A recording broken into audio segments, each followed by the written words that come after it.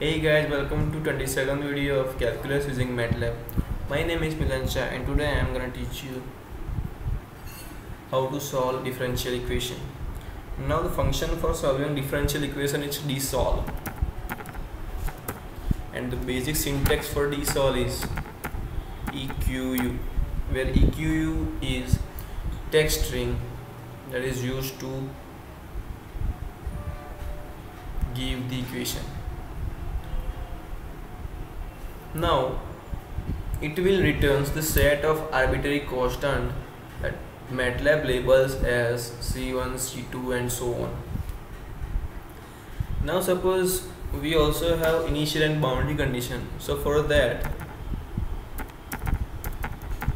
we can type that conditions here like this. Okay so let's try some example so you will understand better.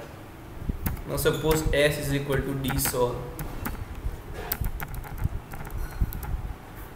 okay so first of all i will guide you how to type this equation. Now suppose we have some equation like this.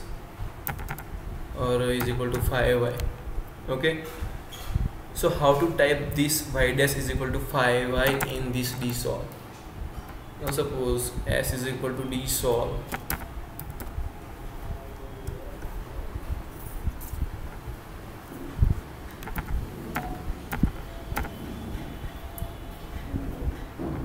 dy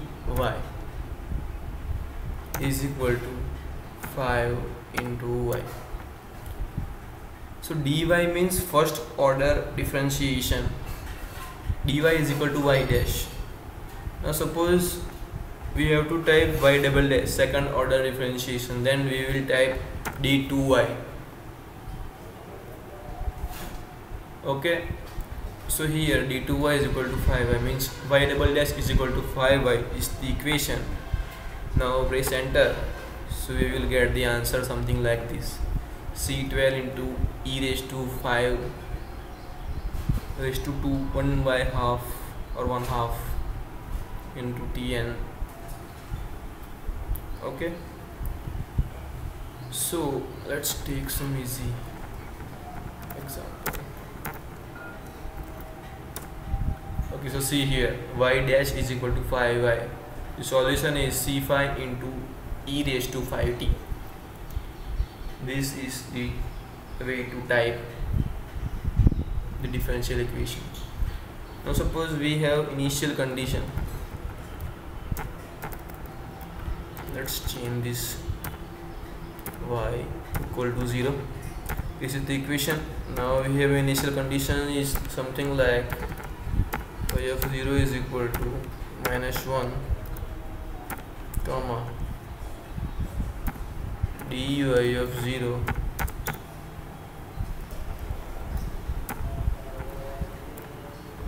equals to 2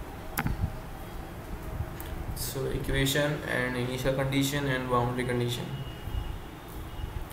Now press enter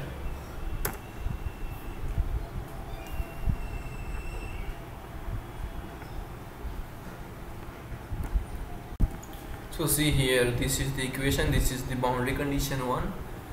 And this is this is initial condition this is the boundary condition.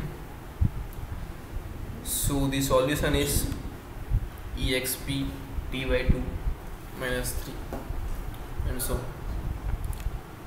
so this is the way to find the solution of differential equation with initial condition and boundary condition. So do some more example like this on your own. Do like share subscribe comment and thanks for watching